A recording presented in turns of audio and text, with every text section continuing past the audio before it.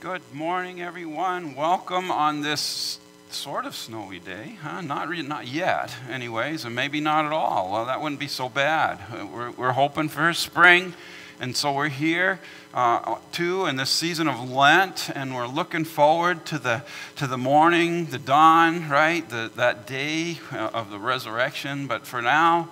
Uh, taking time to look at things that are that are central to our faith and our walk and our life with Jesus Christ, and so that's our theme for this for this next uh, few few weeks here. Finding center. Today we're focusing on the role of purpose and, and what a joy and a gift that is for us to have that center and how we can we can uh, how the Lord is how we follow in the Lord's steps for all that. So uh, let's uh, let's get to it here. We're here. Welcome, and uh, let's begin in song now. If you will please stand, we will sing.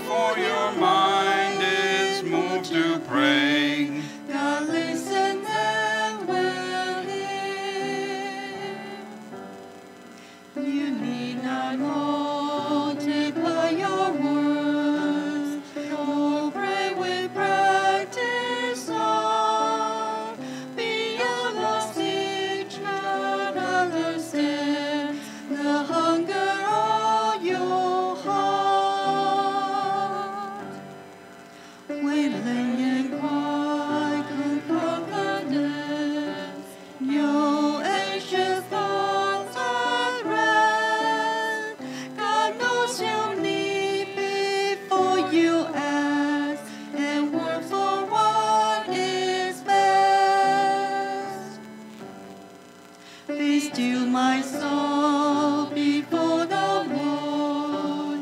On God is patience way. God's love unseen around your life. God's love will not be left.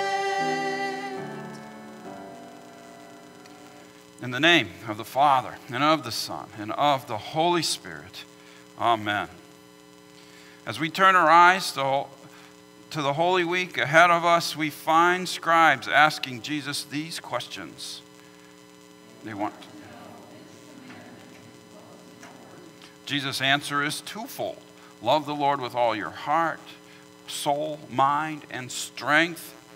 and love your neighbor as yourself. These two commands are grounded in love. Lord, grant that we love God and love others as Christ loves us. And grant that we turn away from hate and indifference and share the love of Christ. We'll sing the song of praise.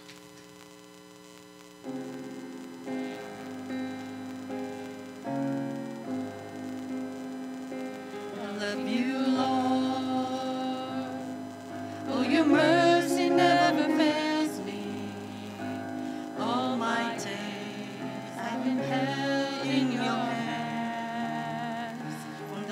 That I wake up until I lay my head, I will sing of the goodness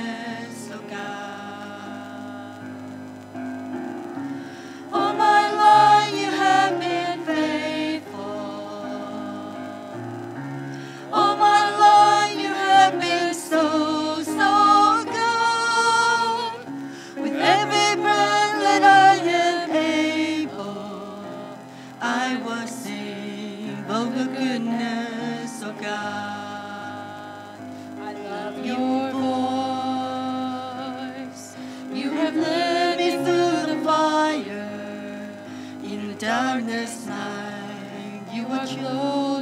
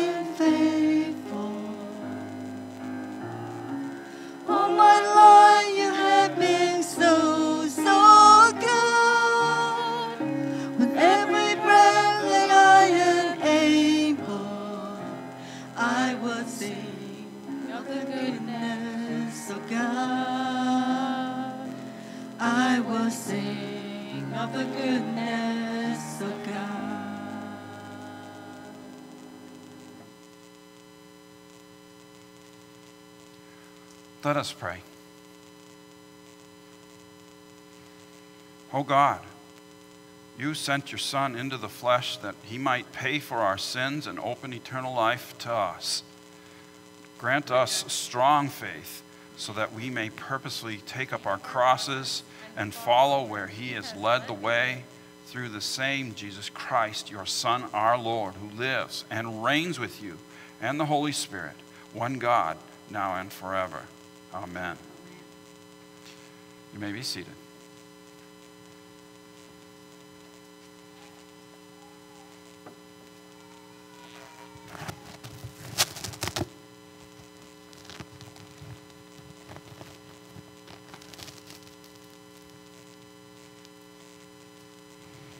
Testament reading today is Romans 5 1 through 11.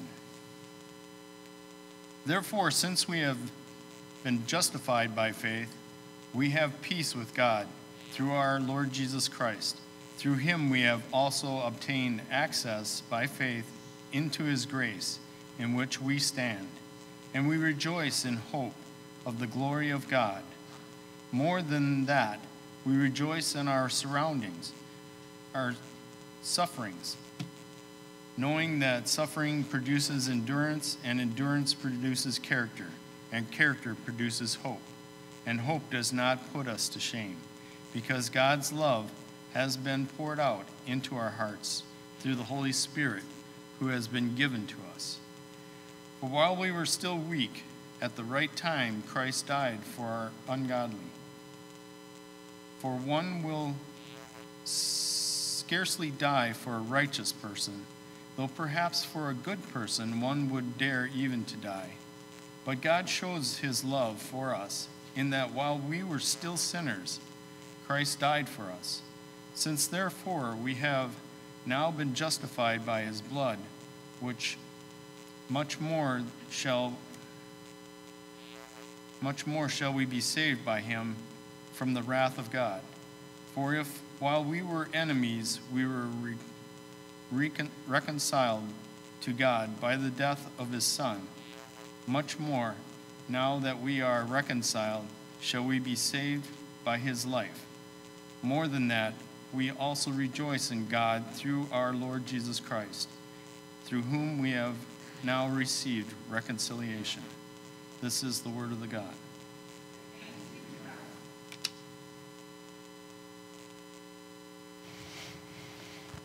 Please stand for the reading of the Gospel. The Holy Gospel according to St. Mark, the eighth chapter. Glory to you, O Lord. And Jesus went on with his disciples to the villages of Caesarea Philippi. And on the way, he asked his disciples, Who do people say that I am? And they told him, John the Baptist. And others say Elijah, and others, one of the prophets. And he asked them, But who do you say that I am? Peter answered, You are the Christ. And he strictly charged them to tell no one about him. And he began to teach them that the Son of Man must suffer many things and be rejected by the elders and the chief priests and the scribes and be killed, and after three days rise again. And he said this plainly. And Peter took him aside and began to rebuke him. But turning and seeing his disciples, he rebuked Peter and said, Get behind me, Satan, for you are not setting your mind on the things of God, but on the things of man. And he called to him the crowd with his disciples and said to them, If anyone would come after me, let him deny himself and take up his cross and follow me. For whoever would save his life will lose it, but whoever loses his life for my sake and the gospel's will save it. For what does it profit a man to gain the whole world and forfeit his life? For what can a man give in return for his life? For whoever is ashamed of me and of my words in this adulterous and sinful generation, of him will the Son of Man also be ashamed when he comes in the glory of his Father with the holy angels. This is the gospel of the Lord. Praise to you, O Christ. Please be seated, and we invite Christy forward for the children's message.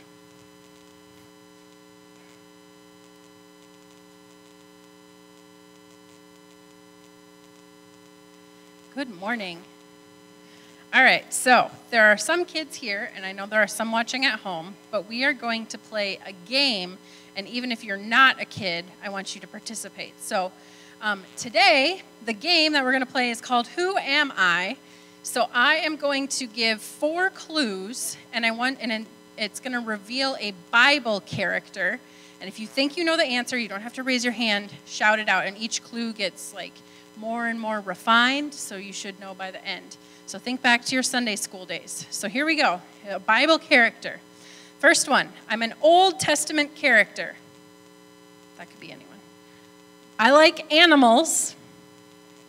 I had to build a huge boat all by myself. Do we know who it is? Yeah, Noah. All right, good. My children, wife, and I were the only people to be alive in the big flood. Okay, that's Noah. Good job. A plus. Here's the second one. I was a tax collector. I cheated people out of their money. Ooh, good guess. I was very, very small. I might be found up a tree. Zacchaeus. Yeah, Zacchaeus was a wee little man. Okay, two more. I was the king was a king of Israel. I could play the harp and was a shepherd. Yeah. King Solomon was my son and I killed Goliath the giant. It's David. One more before the final round. Um, I was born in Egypt and I was a little bit of a basket case. yes, Moses. I heard God through a burning bush. I led the people across the Red Sea and brought the Ten Commandments. It is Moses. All right, final round. I helped the blind to see. John the Baptist is his cousin. He was born of a virgin and the Savior of the world. It is Jesus. Yes, the number one Sunday school answer, right? So, if you were listening when the gospel reading was read today, um, there was the gospel lesson involved a little bit of identification. So Jesus asked his disciples, now he wasn't actually playing a game, but he did ask them um, who he thought that he was, who they thought he was. Because not everybody recognized Jesus, and um, some people were confused about interpreting prophecies and trying to understand who he was. So Jesus asked his disciples, Who do you think that I am? And he got a variety of answers. So the disciples, they said, some people claimed he was maybe like a prophet or a, a, a, prophet figure. But then Peter piped up, and good old Peter, he said, Jesus, you are the Messiah, the Son of God, because Peter recognized who he was. And this was important for the ministry of Jesus and his followers, even though Jesus actually told them not to tell many people about him. But it was important that they recognized who Jesus was. So that brings us to today. What about us? Do we recognize who Jesus really is? Do we really understand and do we proclaim and live our life um, not just talking in Sunday school, the Sunday school answer? It's Jesus. It's Jesus. But do we know that he was the Savior, the promised one who saved us from our sins? and fulfilled God's promises. Well, we know that Jesus is the Savior of the world and the Son of God. But you know what? There's a lot of people that don't know that. And it's not something that we should keep to ourselves, it's something that we should share. And we know even more than Peter did because now we have the whole Bible to tell us the timeline and we've come thus far. And so we know even more that Jesus was and is the Messiah and that he died and came back to life for us. And we can't keep that amazing news to ourselves. So our job is to share when people ask, Who is this Jesus? Who do you think, who do you say that Jesus is? That we have the ability and the duty to share it as Christians because we, we wear that, that name, that title, and that livelihood that we walk and follow Him. And so while we know who our Savior is, there are many that don't, and we are called to share that good news with others. And when in doubt, the Sunday school answer, it's all about Jesus. It really is. Let's pray. Lord God, help us to share that you are the true and, and right Savior of the world that was long awaited. Lord, help us not to keep it to ourselves and when asked to be bold, to share and proclaim and tell with others. Lord, we love you and we are thankful that your Son Jesus is who he says he is, and we know this. Lord, we pray this in your Son, Jesus' name. Amen. We will continue with the singing of the next song, and you can remain seated.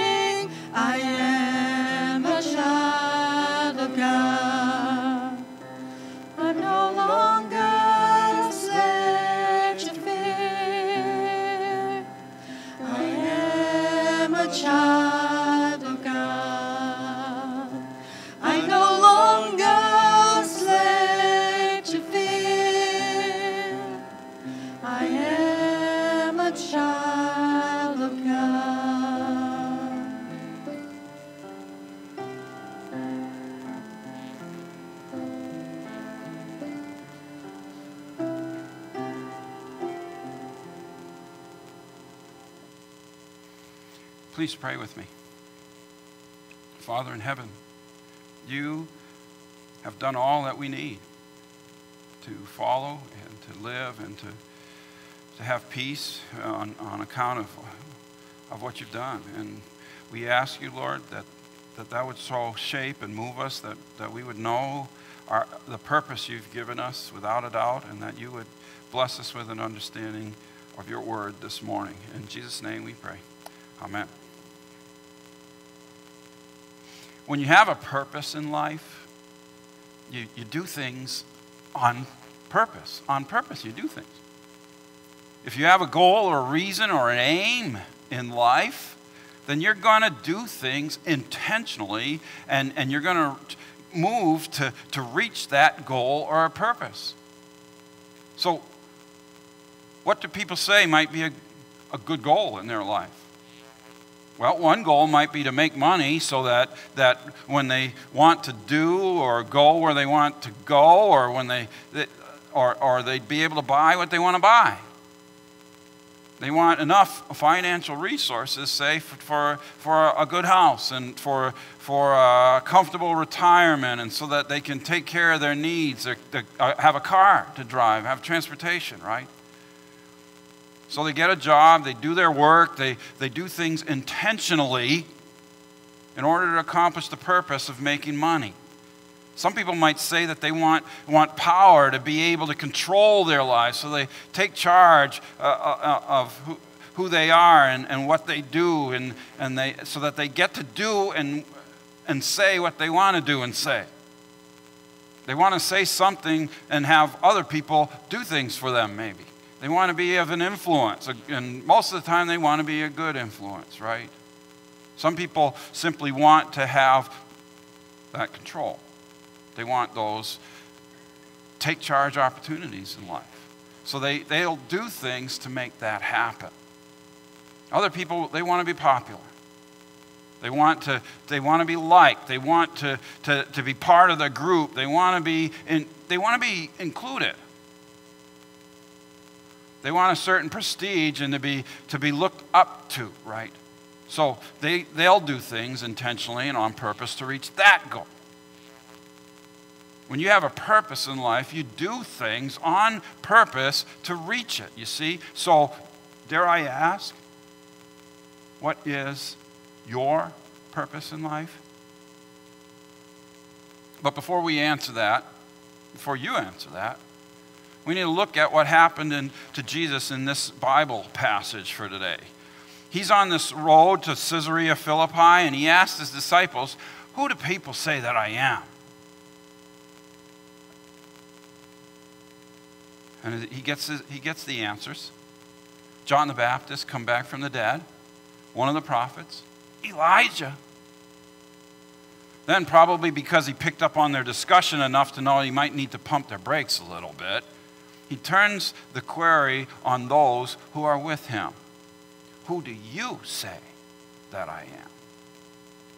Peter, speaking for the disciples, kind of. He's kind of their spokesman. He's the first one to be called after all, right? So Peter, is, he, he pipes up, he steps up and he says, You are the Christ.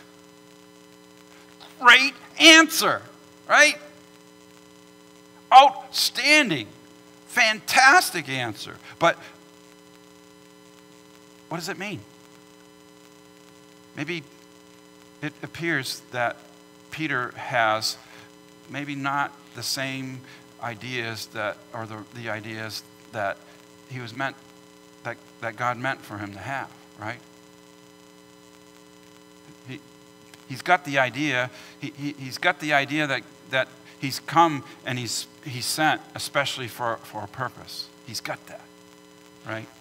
But he, he, is he thinking this is going to be somebody, for instance, with power to make dreams come true? He's hoping that Christ will overthrow the, the Roman government so that they can be free, so that there'll be no more oppression. He believes that the Christ will show incredible political and military power. He's seen, he's seen so much in the last weeks and months with Jesus, right? He's seen, he's seen great glimpses of power over demons and healing of every, uh, of every disease and disability under the sun. He's, he's raised people. He's cured his mother in law, his own mother in law, who was sick and down in bed and was headed in the wrong direction. He cured her.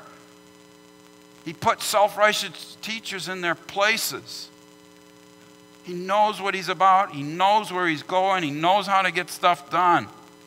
And so Peter's thing that asks for money and possessions, this Christ will give him the, the country where every, everybody will be safe, where, where they all can have whatever they want and they will be able to do whatever they want. It will be a wonderful place to live with no worries. And what's more, the disciples will get prime spots, prestige, and people looking up to them. And they'll be welcomed and well liked, and they ha- haven't even, they, all, this is what Peter's thinking, and they haven't even gotten to the glowy, transfigured Jesus part yet. But that make your dreams come true type isn't the type of Christ that Jesus had to be. He had to correct this false understanding of what Christ would do and, and the purpose that he has. So he says, The Son of Man must. The Son of Man must. Dot, dot, dot, dot. The word must in Greek is three letters long. It equates to, to a D or delta and, a, and an E or epsilon and, and an I, a iota, right? Dei is the way we pronounce it in Greek. It means it is necessary, which all sounds very impersonal, but it's very much to the point, isn't it? It is necessary. It has to happen. It must occur. There's no two ways about it, kind of necessary. The Son of Man must be rejected, he must suffer he must be killed.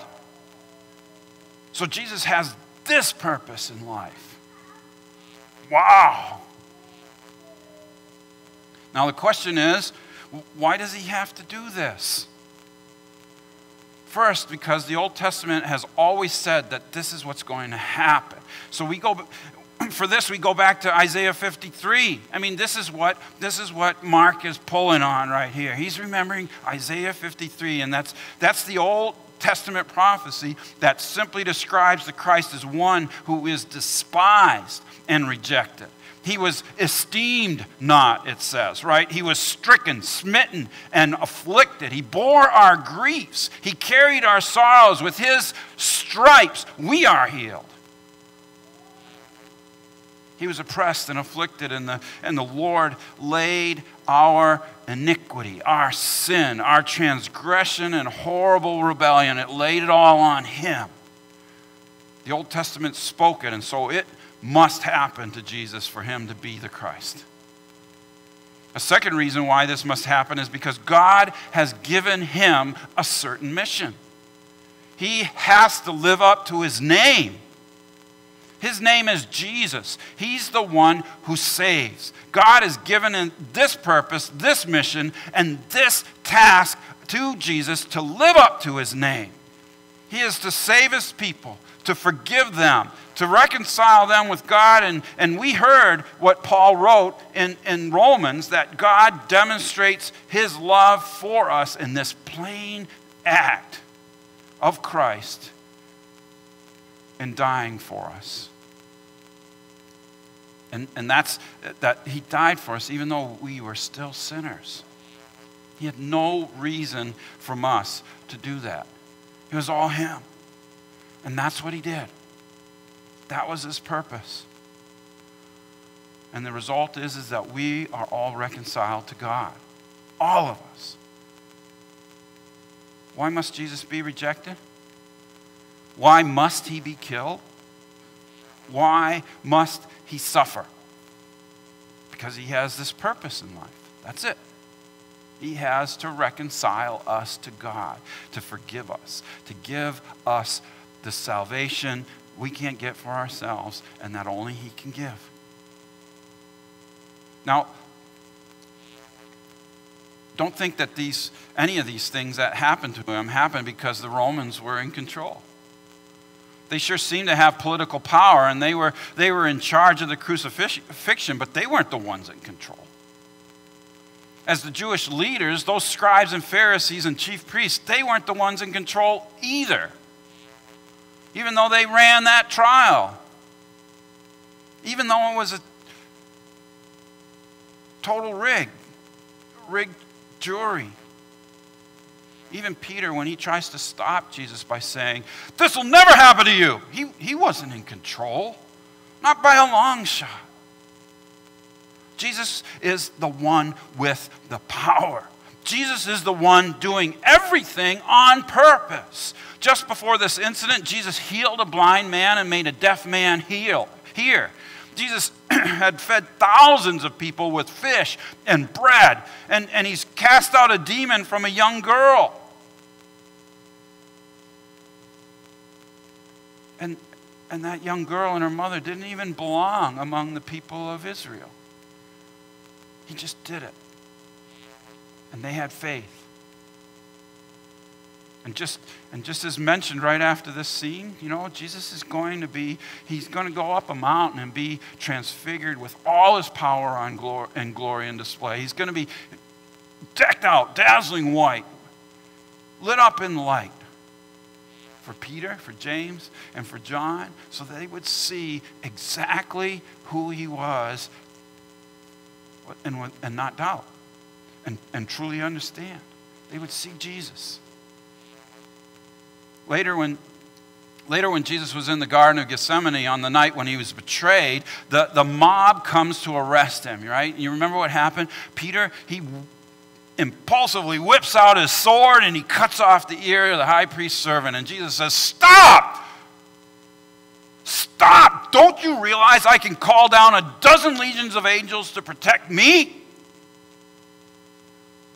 Jesus allows himself to be arrested then he, when he stood before Pilate, the Roman governor, he could have said something and gone free. He has that power, you see. He could have said anything and gone free. But he stays silent. He's going to be crucified on purpose. When he's, when he's with the Sanhedrin, those religious leaders, they ask him a question Are you the Christ, the Son of God? And Jesus finally speaks plain as day I am. I am is the name of God Himself in the Old Testament. So when, when Jesus claims that name, no matter how true it is, He's forced their hand against Him. He's guilty of blasphemy in their, in their eyes, in their way of understanding, in their blindness. He's forced their hand, He's spoken a death sentence on Himself. He's claimed an authority and a power for himself that, that, that is not, in their mind, that is not his. So ironic. So they have to, con- they have to condemn him to death. Yet Jesus could have stopped. He could have stopped his arrest. He could have, he, he could have stopped his suffering. He could have stopped his trial or his execution at any time that he wanted to. Just bam, it would have been done. He was the one who was in control, and yet he had a purpose. Everything he did was on purpose. He did this all for you, he did this for me, to, to, to, to forgive us, to save us, to make us all brothers and sisters in Christ.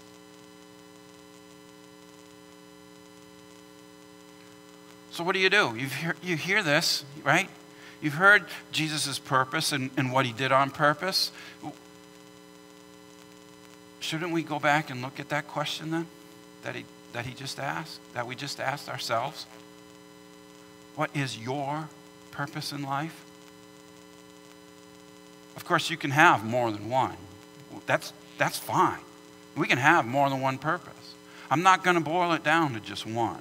But we do have a clear purpose given at the end of the Bible passage for this sermon. We're to take up our cross, deny ourselves, and follow Jesus.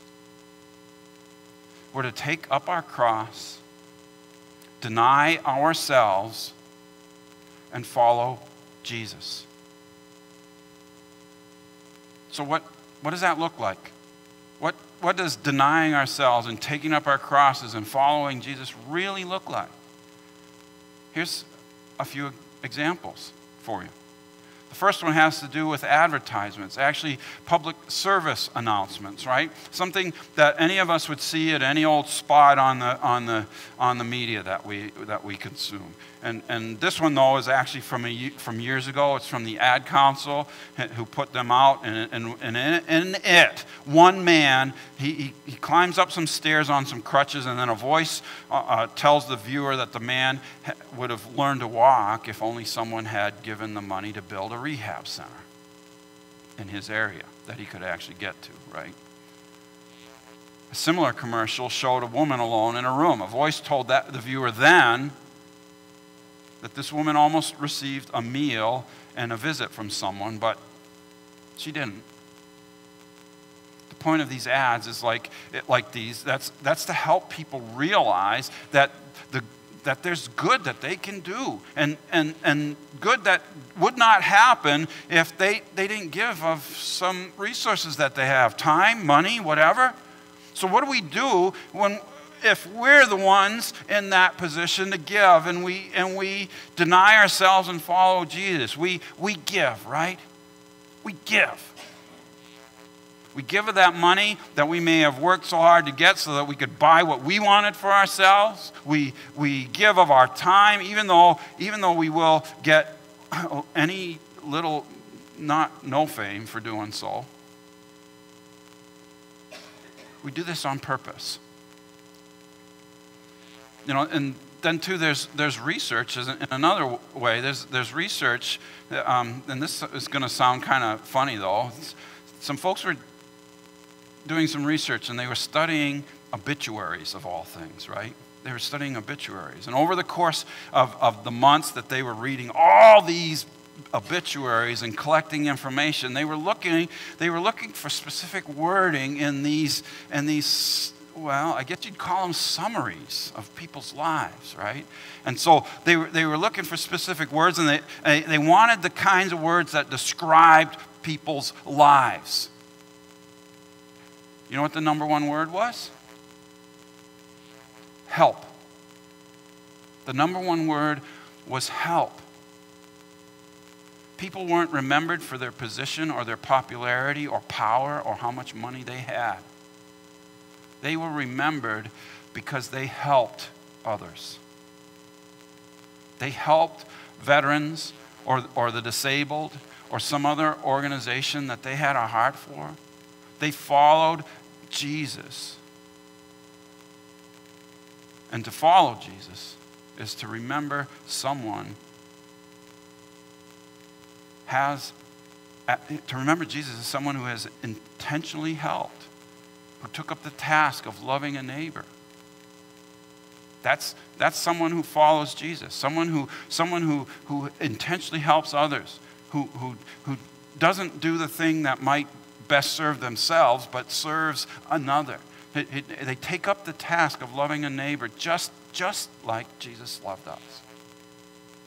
Some of our friends of ours, some friends of ours lost their son at an early age. He died suddenly at the age of 33. He, it was a pulmonary embolism, so it was just bang like that, right? They found out that, that he, only later they found out, you know, going through his things, that, that he was an organ and tissue donor. And, and so he had checked this box on his driver's license. And when you do that, when you get a driver's license, or if you have already have one, you have an opportunity to do that, to be a donor that, and, and literally give of yourself, right? give of yourself to, to, when you die. And, and you just can't imagine as parents who are just looking for, for that connection that they've lost with this, this child of theirs a child gone before his time, right? They, they, they, they were so proud to see the number of people that, that, that this, the tissue uh, from his body kind of helped and, and helped, sustain, help them in sustaining their lives or improving their situation. That was just meaningful, so meaningful to them. He had intentionally checked that donor box on his driver's license, and it was helping. But you and I don't have to die to be able to give of ourselves. We, I gave blood a lot when I was younger, but I got out of the habit because I was in and out of the country so much uh, years back. But there are people who have given gallons in blood, right? Maybe even some of them are right here in this room. Actually, I know some of them are right here in this room. And I'm, and I'm sure that there are those who have given every time they've get, had a chance or, or found a way to kind of just run, run on over to the, to the center, right? But once again, do you see? Do you see what's happening? They're not giving for the cookies and juice and the cheerful conversation, even as nice as that is. I can remember seeing donor pins, right? Donor pins on my uncle's dresser. I, have heard of people getting, uh, you know, like tacky blood drive socks and, and, and t shirts, but that's, that's not why they're, they're that's not why they, these folks are giving blood either. They're, that's, that's nice and appreciate. Uh, it, it's nice to be appreciated, though. Instead, they're giving blood. It, this shows something that we can do on purpose because Jesus has called us to do this, to, to, to do something like this, to follow him and to literally give of ourselves, our, even give of our bodily resources for someone else, to deny what we may want and need and instead give away what someone else needs. Right? Just yesterday I saw a TikTok video. Yes, I know what TikTok is. Okay? But I saw the TikTok on Instagram, so yeah, I'm not that hip. It, Instagram is old news, right?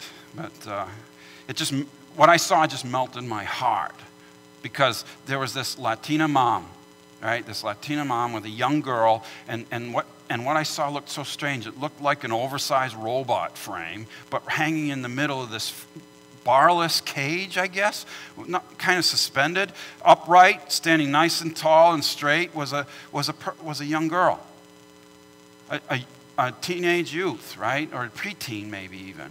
And, and, in this, and, and in this, on the bottom of the cage were attached wheels, right?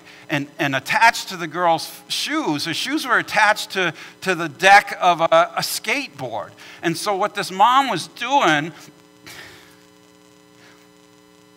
It still gets me. What this mom was doing was pushing this girl up in a skate park, up the, up the ramp and down the other side, and up and down and all around. And they were spinning and whirling and laughing and, and living and giving. It was such a picture of joy. It, was, it looked so awkward. It looked so strange. It looked so funny. The mom, the mom was laughing and puffing and couldn't get her breath. And that kid was beaming, doing something she'd never have a chance to do otherwise. And this is, this is what this giving is all about. It's a chance at life, it's a chance at something something else, something greater. They went all over that park, and she was making sure that this young person didn't get left out and had fun and, and enjoyed sport and had some truly exciting experiences. It was, it was oddly moving to see because it looked weird.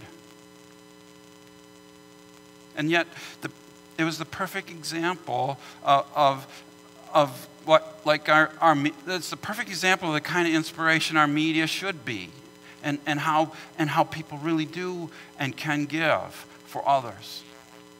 Anyway, you, you see how this works, right?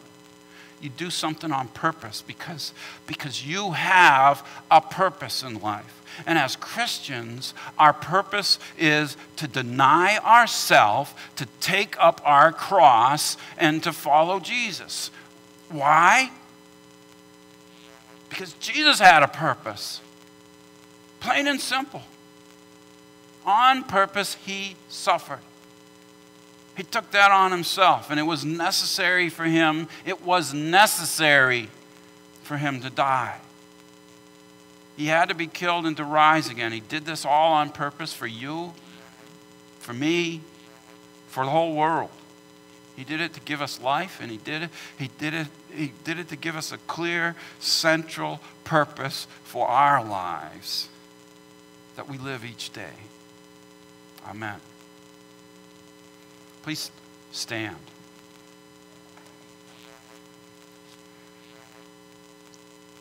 We confess our faith in the words of the Apostles' Creed. I believe in God the Father Almighty, maker of heaven and earth, and in Jesus Christ, his only Son, our Lord, who was conceived by the Holy Spirit, born of the Virgin Mary, suffered under Pontius Pilate, was crucified, died, and was buried. He descended into hell. The third day he rose again from the dead. He descended into heaven and sits at the right hand of God the Father Almighty. From thence he will come to judge the living and the dead. I believe in the Holy Spirit, the holy Christian church, the communion of saints, the forgiveness of sins, the resurrection of the body, and the life everlasting. Amen. Our offering is an act of worship that, that recognizes God's goodness and, and allows us to, to respond in thanksgiving. And so, um, in order to keep contact now, we've placed plates at the entrance to the sanctuary, and you're able to just approach those at any time and, and leave your gifts and honor to the, to the Lord and help, help us as Hope to advance God's mission, to be that outpost for Him in, in this area and to, and to do things that, that that maybe not a lot of people would do, but we can. And so I encourage you to consider your gifts and to offer them to the Lord and, and, and let it be a blessing. Um, at this point, I, would ask the congregation to sit, but uh, the officers that are being installed today to please remain standing. So I'm not going to have anybody up to the front like I usually do, and you know we're trying to keep the movement down. And so if you look, all the rest of you, if you're down, then look around, and you can see who we've got here. We've got a number of people. Some folks are traveling and aren't able to make it this weekend, but they're they're just the same. They're installed. Um, and you see uh, Chris Nelson standing back there because he is, uh, is, is uh, open to uh, stepping in in Jim Gillard's place, who would have been installed, but is, is uh, uh, um, who's, who's sold his home and is moving and, and starting up the next stage of his, his life here. And so Chris will be stepping in as, as elder, and, and I pray that you will affirm that. Uh, choice uh, in the next voters meeting, but we're gonna we're gonna advance a blessing to him here, okay, and and ask that as well. And for all these other folks, they need your help. They need, uh, they need your prayers and, and all the rest. So, beloved in the Lord, right? People, family of hope, Holy Scripture tells us that all things should be done in, decently and in good order. And so, with, because of the Constitution and bylaws that, that in, this, in this congregation that established the, very, the, the different offices that we have, we have men and women who are elected uh, and appointed to serve.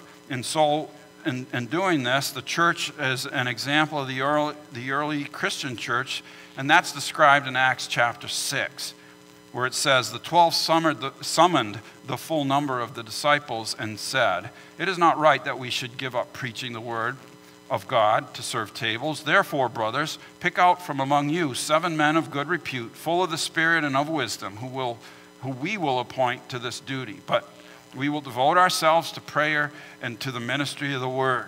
And, and in so doing, uh, God got people involved in his mission and made sure that the gospel and the, and the word would continue to go, on, go forward.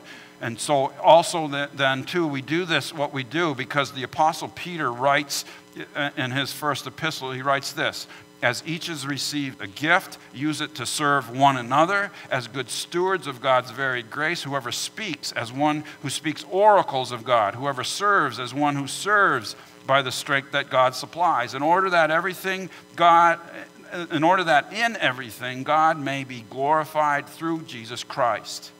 To him belong the glory and the dominion forever and ever. And you, so you see, we've all been given gifts and we're meant to all put them in together in this place we call hope and, and be of service to one another so that so that people would see jesus right? So here, here we have this is we have uh, greg collins who's been elected to serve as uh, congregational president, Wade Byer as vice president, Jeff Carter again as treasurer, Suzanne Siebert as uh, congregational secretary, uh, India Martz as financial secretary. Our elders were, uh, are Akin Shadeko, Tom Calgaro, Tim Spitzak, and, and Jim Gillard, and now uh, Chris, as I mentioned before. Also, trustee is Al Kitt. Education is Mandy Wessinger. Stewardship chair is David Crable. And worship chair, worship committee chair is Noah Boudreau. And so here, uh, you have been chosen to fill specific offices and positions of responsibility at Hope. You are to work with myself, the pastor, that our life together in Christ may be orderly and pleasing in His sight. You are to see that the services in God's house are held at the proper times, that the Word of God is purely preached and taught among the, uh, according to the Lutheran confessions, as we've agreed in our Constitution, and that the sacrifice, uh, the sacraments of Christ are, are administered according to his, the, his establishment, according to how uh, God has established them. That we're also to see that uh, provision is made for the Christian instruction of the young and the old, and, and that the erring are admonished and that discipline is maintained. You are to see that the temporal affairs of the congregation are properly administered and that proper support is provided for the workers of this congregation. You're to assist in caring for the poor and the sick, in cultivating harmony among the members and promoting the general welfare of the congregation, and in furthering the kingdom of Christ here and throughout the world. That's a lot, I know, but that's what we're here for.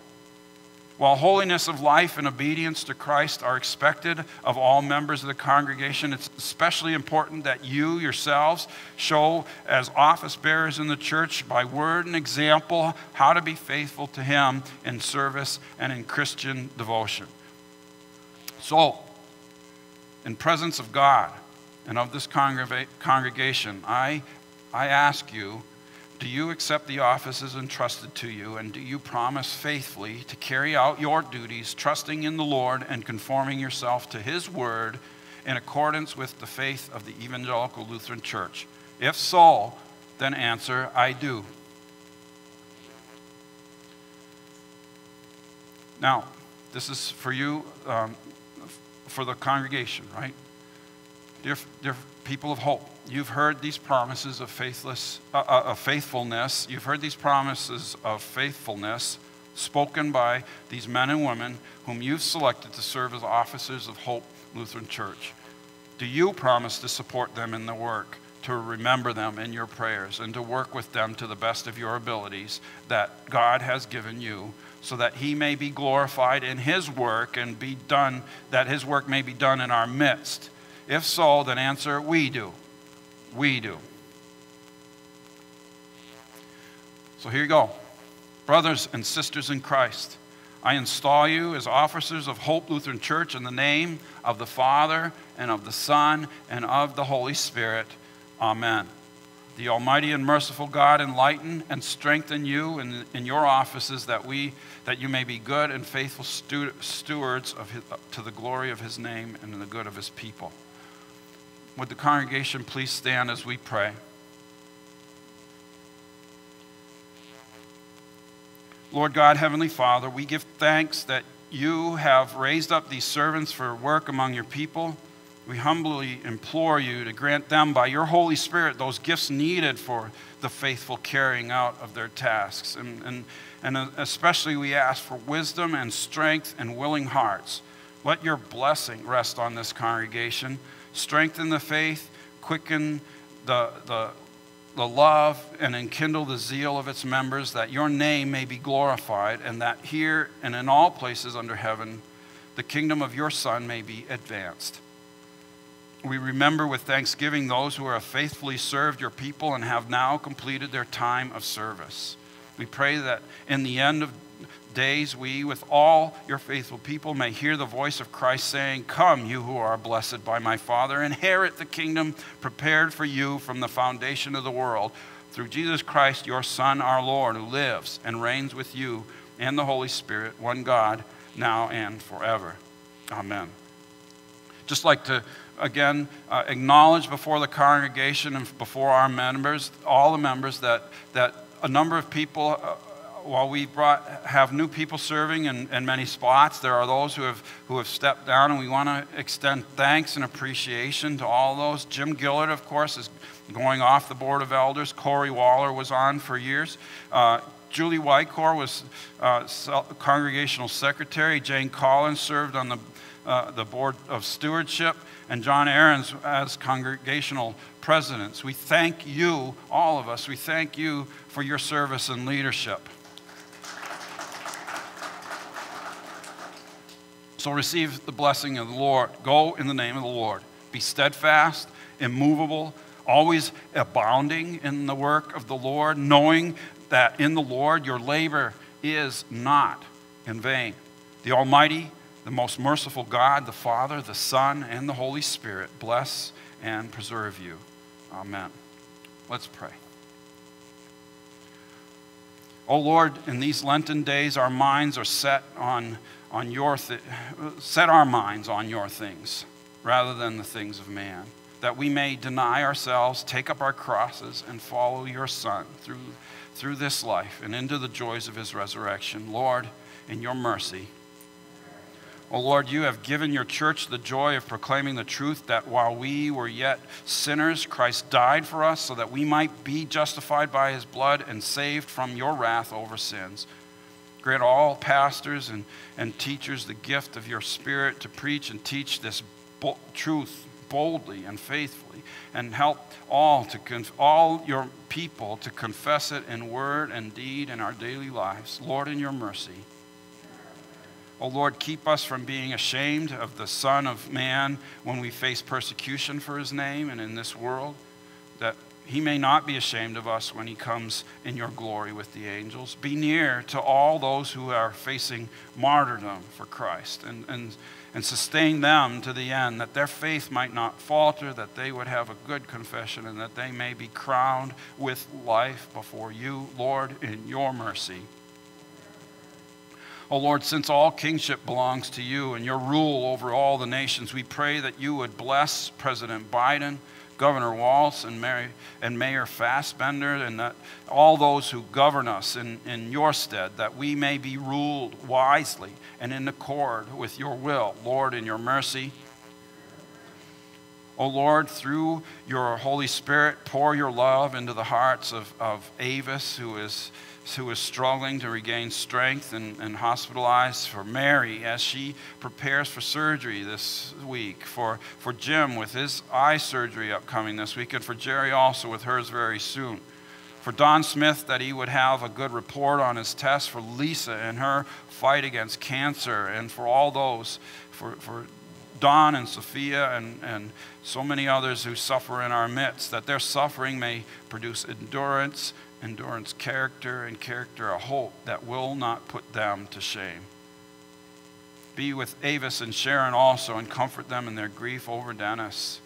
Grant them health, healing, wholeness in accord with your perfect will, and sustain them in all their trials. Lord, in your mercy, O Lord, we remember with thanksgiving the multitude of nations that rejoice in heaven before you and with their father Abraham. We pray that you would sustain us in the same justifying faith, that as his offspring we may share in the everlasting covenant you made with him. Lord, in your mercy. Gracious Lord, please bless and protect our preschool. With registration filling up so soon, it certainly looks like a good year ahead. And with many returning students, we will continue to have relationship with families. That, and we pray you will use that relationship. You will build and grow that relationship and bless us to form friendships and build up faith, not only in the children, but in our families as well. Bless the children to grow and to learn, and, and our teachers and staff to teach and guide and form these young ones with wisdom and joy. Lord, in your mercy, all these things and whatever else you know that we need, grant us, Father, for the sake of him who died and rose again and now lives and reigns with you in the Holy Spirit, one God, now and forever. Amen. We pray the prayer our Lord taught us to pray Our Father, who art in heaven Hallowed be thy name. Thy kingdom come, thy will be done on earth as it is in heaven. Give us this day our daily bread, and forgive us our trespasses, as we forgive those who trespass against us. And lead us not into temptation, but deliver us from evil. For thine is the kingdom, and the power, and the glory, forever and ever. Amen. The Lord bless you and keep you. The Lord make his face shine on you and be gracious to you. The Lord look upon you with favor and give you peace. Sing our closing song. You may be seated.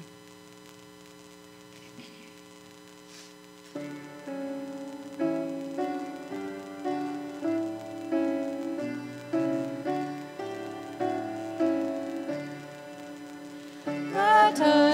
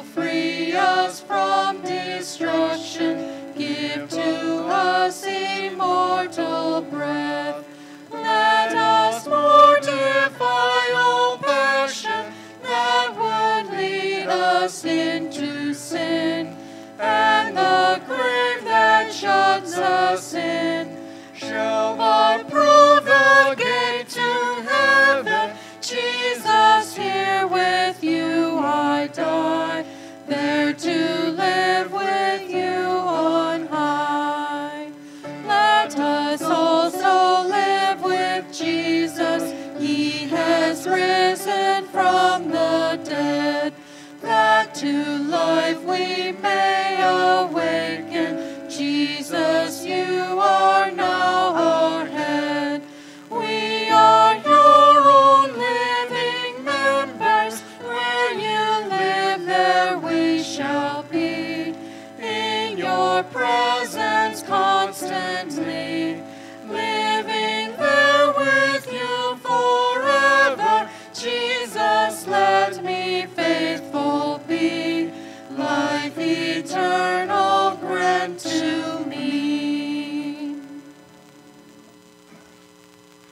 Just a few announcements for everyone. First is that midweek services are ongoing and being posted to our YouTube uh, Hope of Hastings page, and so they will be up by 7 p.m. on Wednesday evenings. And so we're going ahead too in uh, in our theme for the week. Uh, uh, uh, for the for the for the midweek services, of course, we're, we're having these these monologues and presenting uh, uh, the, the this picture, this uh, story of a journey to the cross, right? For, and and, and how God has led, has led his people to that moment and that place and what comes of that. And so we're, we're continuing to look at that, and, and we're having uh, different individuals from the congregation kind of present those perspectives, and, and it's been really fun and interesting so far. I encourage you to take a look. The, the first one uh, of course, well, we had Ash Wednesday, and, and our first uh, uh, online service been, was posted this went, past Wednesday. Confirmation will return again to 6 p.m. online and in person. Uh, we'd like if, if, uh, if the youth can, of course, be here in person. Um, and, and wanted to especially uh, extend the invitation that if, if maybe if the, the camera can get a look at the, the seating arrangement and everything, the, the, the, the requirements by the state are, are being alleviated, and so you can see our seating is rearranged, but we're still spacing ourselves because it is recommended. But we're here and we've got space open, and we're, and we're doing everything we can to kind of make everybody fit and be comfortable and, and be spaced. Please come and return. We're ready and waiting for you to, to take part in worship, but only when you're ready to. So, but here we are. When, when you're ready, we're, we're here. Wanted you to know. Uh, in just a moment or two, we will start our study with counsel on, on, uh, on the book uh, Built on the Rock by Ted Kober, where that study will take about an hour's time, and, and it's open not only to counsel, but to any interested individuals.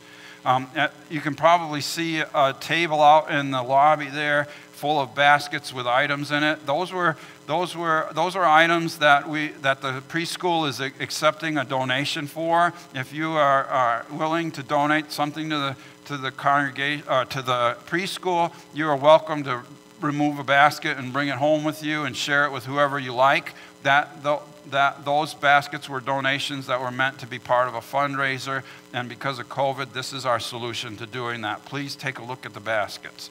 Um, and, and of course, we have birthdays to celebrate, and what did you know? Somebody around here has a birthday coming up this week, right, Christy? Yes, okay.